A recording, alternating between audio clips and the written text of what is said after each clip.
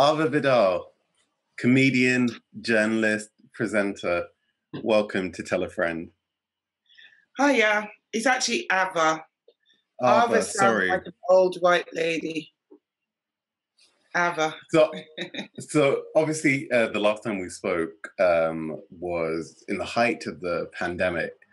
Uh, so I just wanted to know, you know, two years on, you know, how are you doing? How are things with you? Okay, I'm getting I'm getting there.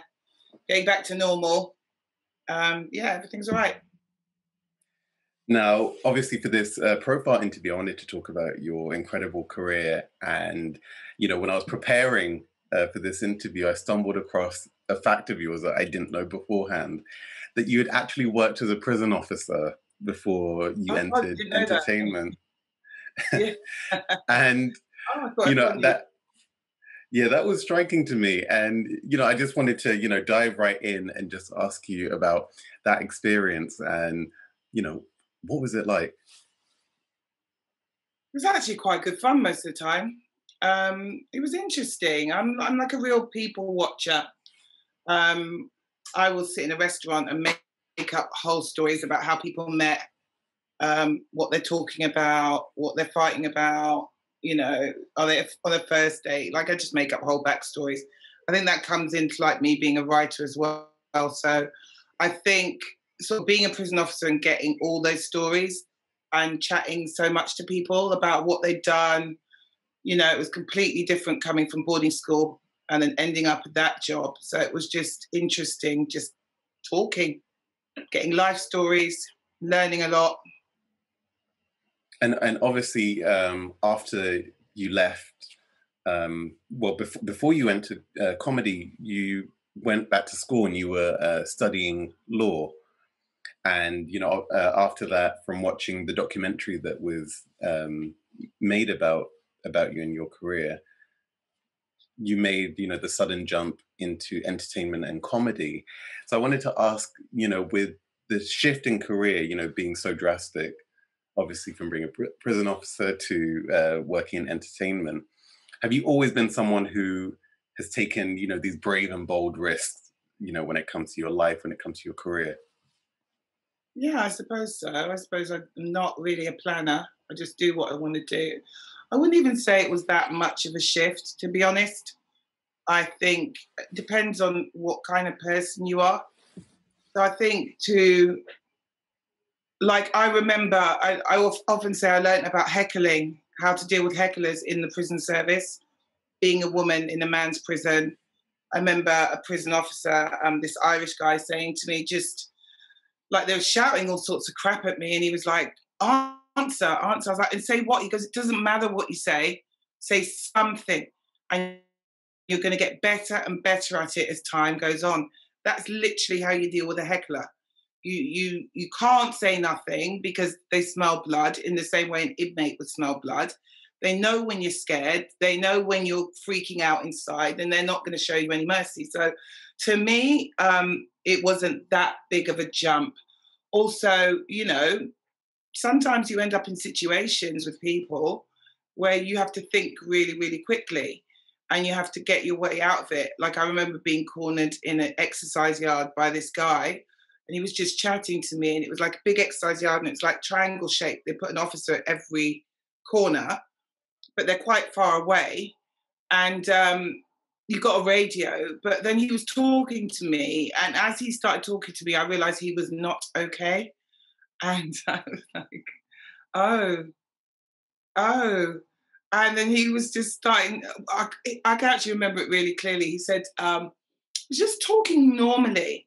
He was going, yeah, Miss Vidal, yeah, Miss Vidal, about the Queen. He was, well, probably I shouldn't say it, but he said some preference in bed he thought the Queen might have that was quite eye watering. And he didn't change tone, he didn't change um, facial expression, nothing. So I was like waiting for him to laugh. He did not laugh. And he was badgering me for an answer. And I was like, okay, I have to get myself out of this. And if I radio, nobody's going to get to me on time. Like they're going to have to run across. He's going to know that I radioed. So I need to get him away from me right now. so I just had to act like I was crazier than he was. And he left. so there you you talk about how uh, obviously your previous job had prepared you uh, going into comedy and you know being able to kind of stand your ground in that environment but something else that i've always uh, been interested in is you know well obviously to be black in any industry you know you face a lot um, but comedy especially you know when you know we still don't see that many uh, black and brown faces um, you know making it high up in comedy or being given those kind of opportunities. What was it like for you going in as a black woman into this industry did you feel welcomed or was it like an exclusive club no not feel welcome not at all um, it is an exclusive club um, but it is different now there are quite a few coming up and i really uh, appreciated working uh, with Dane Baptiste recently, and he said that I paved the way for a lot of them. I think the comedy was just very different before I came along. It was a very different style. Um, I think like generation before us, I guess, were two generations before us, I guess, were the real McCoy people. Then after that was the um, Gina Yasheres, uh, Rudi Lickwoods, um, is Miles Crawford. Um, there were just different different styles. Like what I was doing was not really done by any black person before. Um, I think they had boxes they wanted to put us in, and I think so. Like we had like the Ninia Benjamins, the Jocelyn Jee's just before us, who were quite loud, speak very fast, um, very very London. Um, it was just really different to me. Um, so I think it, it took people were just, oh, who's she and what she's saying, and her stories are quite different. So I think there was that. But now there's like a wealth of uh, there's a few uh, privately educated black people on the circuit. There's a few of them. They don't all admit it though, but there are a few of them. So yeah, there's like now behind me. There's the Danes, Sophie Duker. Is it Duker? Duker, it's Duker, isn't it? Um, Athena. Uh, who else? Nabil Abdul Rashid. Um, there's just a generation that's different. So you'll sort of see things change as they go along, you know? So you've got now, um, Gina was doing all the Nigerian stuff, but Nabil actually is Nigerian, like was raised in Nigeria, even though he was born here. So the comedy that he does is very different to what she would say about Nigeria. Like he is it. So he, he brings a completely different, a new perspective on it. I think the the generation coming up behind us are less apologetic than the generation before me were. Um, so yeah, it's good. It's all good and you know thinking about some of those names you know a lot of them are my favorites you know like the jocelyn um, you know Ninia benjamin um, gina as well do you ever look at you know people from that group and even look at yourself and think that you've been kind of let down by comedy in this country because you know when we're thinking about opportunities that are given for shows you know is that something you feel I don't really care. I don't care. I don't think that, you know, I, I think uh, the way that I've always done stuff is I find a way. I've mm-hmm. always found a way to do what I want to do. So when there's something that I want to do, I'll find a way of doing it. To be honest, there hasn't, there's been a couple of times people wanted to do a sitcom with me or wanting to do something else with me, and it just was never right. So I'm not bothered. And also, what do you think about this uh, conversation that, um, again, to go back to Gina or to think of people like London Hughes, you know, you hear them talking about how um, there's more opportunity. Uh, well, they found there was more opportunity for them to go to America and be recognized. And you kind of see a similar pattern when it comes to music. You know, you see a lot of black uh, musicians and recording artists going to America and then you know making it a lot bigger than when they were here. Is that something that you know a trend that you've noticed as well? I don't really care what anyone else does. I'm, I'm not interested. I don't really know those people, so I don't know. I mean, I'm happy. They can, they do what they do. I do what I do. Mm-hmm. But so now, if we if we're looking, you know, as you alluded to uh, just a second ago about the new talent that's coming up, um, mm-hmm. and obviously you see the success of shows like Chewing Gum, and you see, you know, so mm-hmm. many Black people being amplified. Um, does this give you hope for you know the way that black voices are going to be recognized and do you think that what's been happening in the past two years with blm has kind of helped the black community you know be propelled in entertainment no blm didn't do anything no didn't it just people put up a few black squares on instagram and on twitter i got a couple of diversity gigs out of it, like, like lecturing diversity gigs, and that was like people have forgotten about all of that right now.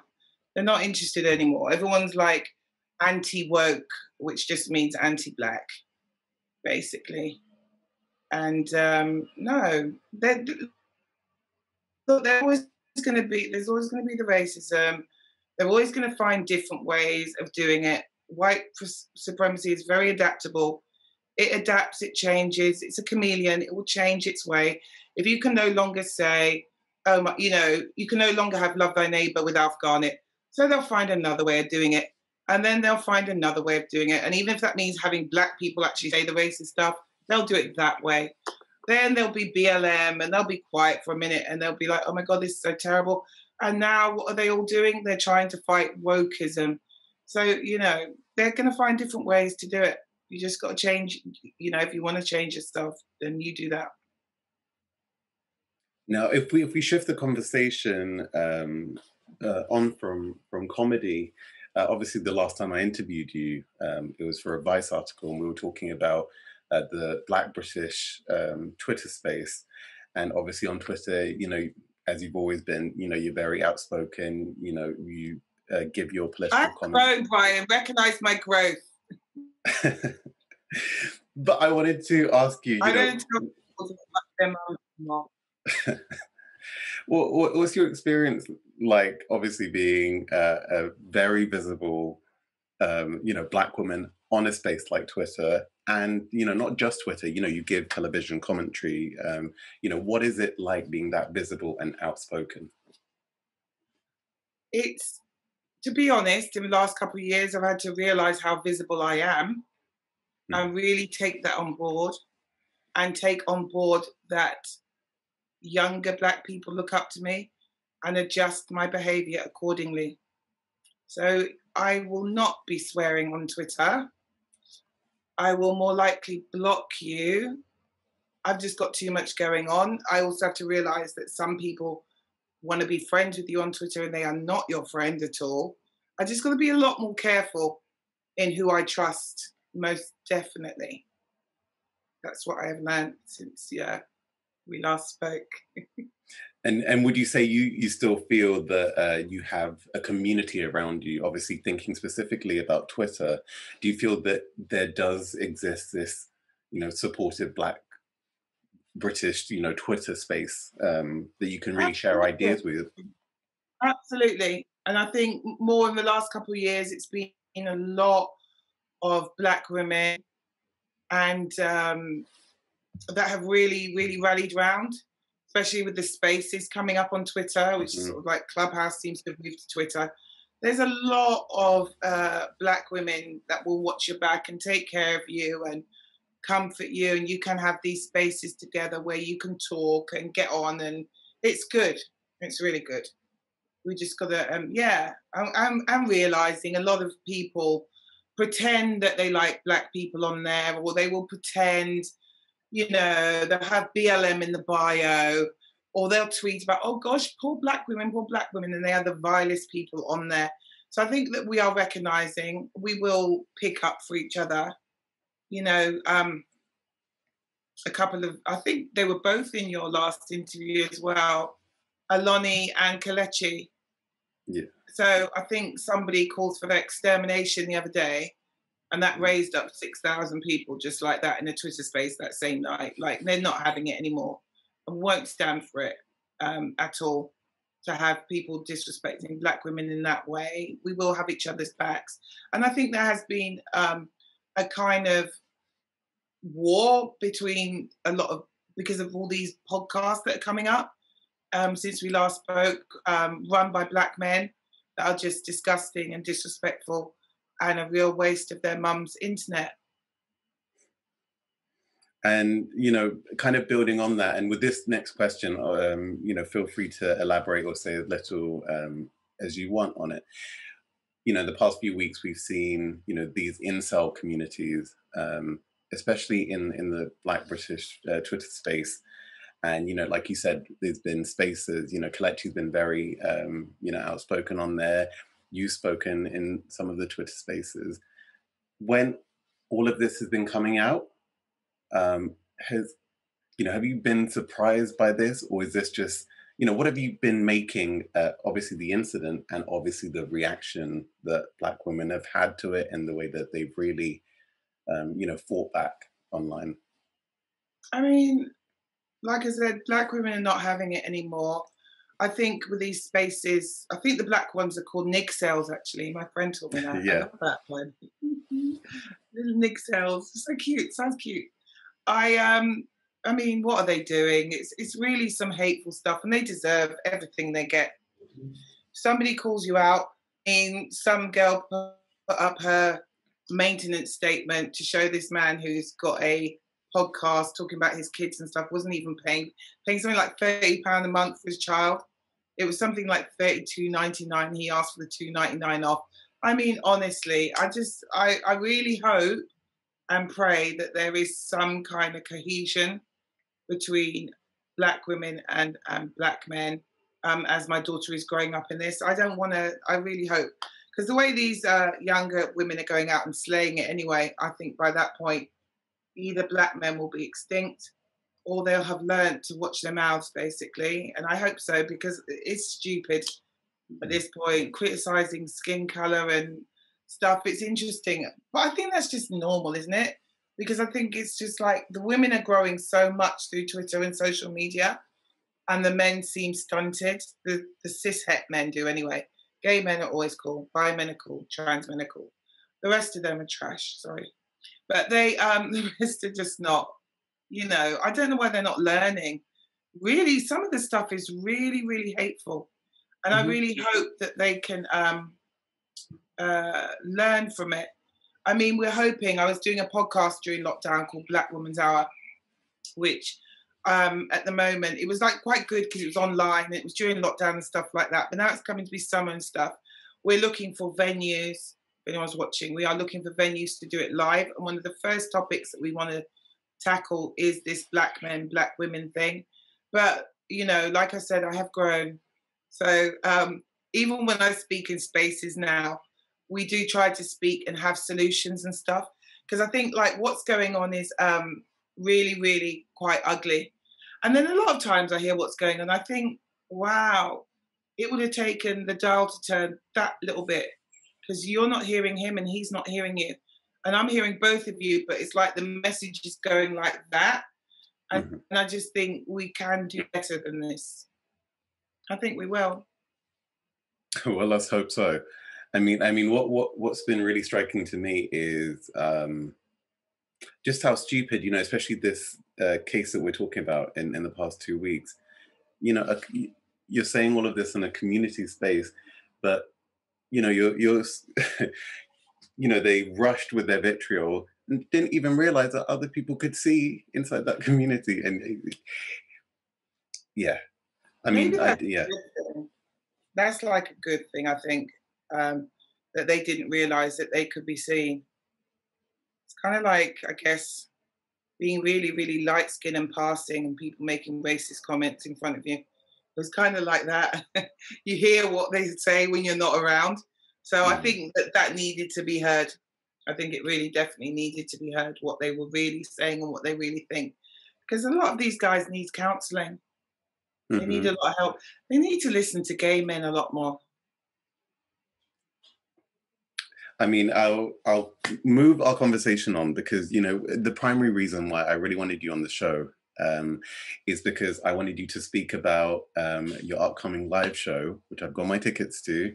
Arva oh, Vidal and friends. Yes, I'll be joining you on Thursday.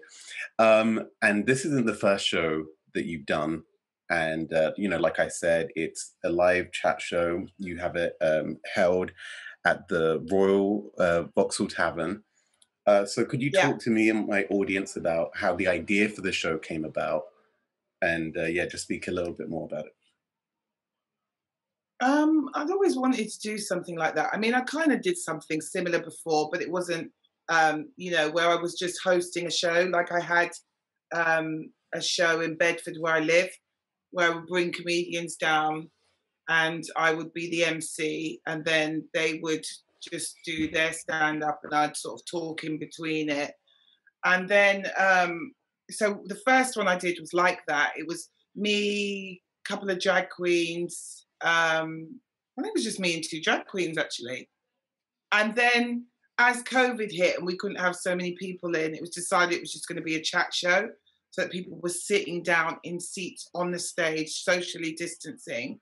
And then kind of got the idea to get. Um, I was having in between my my podcast Black Woman's Hour, I was having politicians on that anyway, like Clive Lewis, Nadia Whittome, whatever. My dream was to get Diane Abbott, which we did. Another dream is to get Jeremy Corbyn, which please, I hope nothing goes wrong. So it'll be Jeremy Corbyn we'll be having. I've been watching Tan Dhesi for quite a while. Uh, Tan Dhesi is a, um, a Sikh, actually Sikh community told me it's pronounced Sikh. So this a Sikh MP um, who is just amazing. He's really amazing. And I think the first time I noticed him was when he was telling Boris Johnson to apologise for mm. calling Muslim women bank robbers. It was like literally, it was just like a mic drop moment where he was saying, You're not going to call us that. We're not having it. Just I've got a turban on my head, or someone might wear this. We don't deserve to be called ragheads. We don't deserve to be called pillar boxes. And it was just like literally. I know that, I mean, honestly, and there was a point where he just got an applause break and he looked quite gangster. And I always think of um, Sikh people as being quite gangster because I used to train with one till I self defense classes was one. I didn't realize how badass they were. And so I was just like, yes, I love him. He gave another speech. He just gives these like um, groundbreaking speeches all the time. He hmm. spoke uh, about Boris Johnson and the um, National Borders Bill, and he was speaking and he said, Why is he getting a brown person to do his dirty work. And I think with the exit of Jeremy Corbyn, there was like a mass exodus of voices on the left. All the Jeremy Corbyn type people like Richard Burgon and Diane Abbott went to the backbenches again, John McDonnell. We're not really hearing from them. Um, they're still quite ridiculed in the press. So to see a voice like that um, just come into Parliament, I think, oh gosh, he might kill me. I think he came in 2017. I think he did and um, yeah, he was just amazing. A really, and then I've had Zara on my show, Zara Sultana, another yeah. amazing voice. Another great one. Um, she's absolutely brilliant and she tolerates a lot. Nadia Whittome's been down on my show. Um, had people like Owen Jones, and then we have, you know, fun people. Oh gosh, I say we have fun people as well. That sounds awful. Um, but I mean, we have like, you know, people who are not so much political We've had um, uh, Asifa Lahore, who was uh, had a documentary about her, um, Muslim first Muslim drag queen, Britain's first Muslim drag queen. We've had John Thomas, who is an X-rated entertainer. Who, um, yeah, I'm the best friend of every gay man I know. When he was coming on my show, They're like, come on, come on, just get a number, get a ticket, get a number. I was like, he's got an OnlyFans, use that. Um, yeah, we had Crystal from Drag Race UK. Okay. We've just had some, yeah, we've had some fun people down. It's always and, a really fun night. And you've worked obviously uh, throughout your career on different platforms and with different formats. Do you find uh, that you prefer, you know, doing that kind of live audience interaction rather than, you know, let's say something that's studio based or like a podcast one to one? Yeah, I do because simply we just don't have lawyers running through our stuff. people don't realize when you do a studio based thing, even if it's a live thing, they do go through it with a researcher. Like, even if you're doing a radio, even if you're doing LBC, the researcher calls first. They want to know exactly, well, this is what they do to me. I'm assuming they do mm-hmm. it to mm-hmm. everyone else. They want to know exactly what you're going to say. They want to know what your bullet points are. They want to, you know, they might tell you not to say this or not to say that. It's completely live and it's really, really good fun. And um, we don't record it. It's off the cuff. Mm-hmm. So people can really, really relax. Diane Abbott was a scream. She is so quick and so funny. Really, really funny. I just was so flattered to have her there. And then I will um, have, you know, prominent people from the LGBT community to come up. Um, like we had Matthew Hodson from AIDS Map. We had we've had activists, you know, that will come along as well. Because mm-hmm. I think it, with it being a very established LGBT community uh, venue, that we need to have people. So we've had like Louis Cypher, who is a drag king, um, who was in the West End in Death Drop. Um, so yeah, we like to have that kind of mix of people together. And just to remind everyone, so it's going to be um, on this Thursday, Thursday, the 12th of May. Um, and like you said, you've got Jeremy Corbyn, you've got Nick Charles, you've got Tan Dhesi, and you've got Nancy Kelley as well. And yeah, Nick Charles is a attitude cover boy. He's actually from Trinidad. He's got a really, really interesting story um, of how he was outed in Trinidad while it was illegal by his mm. ex-boyfriend. Thank you. Could have got him killed actually. Um, and he's just always wanted to work in radio and entertainment, and he got over here and he's just living his dream. Really, really adore him, and he calls me Mama, and I love him. And um, we've got Nancy Kelley, who's the CEO of Stonewall, and obviously with everything that is going on with Stonewall, like the BBC um, not affiliating with them anymore, and the division. So you know, we like to keep things serious as well we have to address the division that is going on in the LGBT community at the moment when it comes to trans rights and some people trying to cut the T off the LGBT. Um, so yeah, we we try and use that opportunity. So we're really really grateful to welcome Nancy on Thursday. Okay, and something that I do with all of my guests is uh, I invite them to, uh, you know, complete the sentence in this quick fire round that I do. Um, so I'm going to read the beginning of these sentences and just say whatever comes to your mind. The first one the greatest misconception about me is that I'm really loud and mean. My biggest regret. My biggest regret is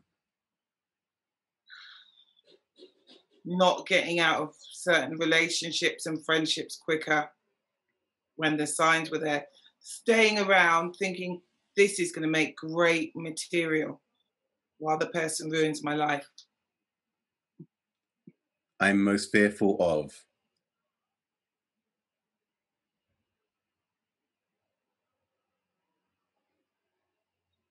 I guess I'm really scared of with rights being rolled back mm-hmm. what is going to happen to us as Black people.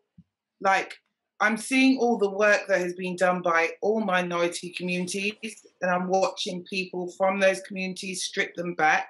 Like I just mentioned, LGBT community, and you're seeing people get up now as Black people and like literally piss on what our ancestors did and piss on what our forefathers did. That makes me really scared. I am most proud of